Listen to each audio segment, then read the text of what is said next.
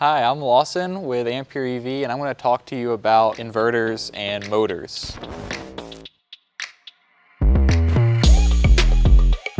In front of me here is a Cascadia Motion IM225 and on the top here is the inverter. An inverter is matched with an electric motor and what an inverter does is it takes the DC power from your battery pack and it converts that into three AC phases for an electric motor. Just like cylinders in an engine, you have to fire these phases, these windings in an electric motor in the right sequence to get it to spin, which is just like firing a cylinder in an engine in a certain order. The inverter takes that DC power and it converts it into the right timed phases to spin the electric motor in the direction that you want.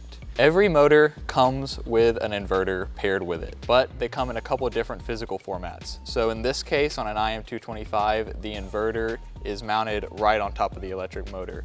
But for packaging reasons, you might sometimes want that inverter to be mounted separately.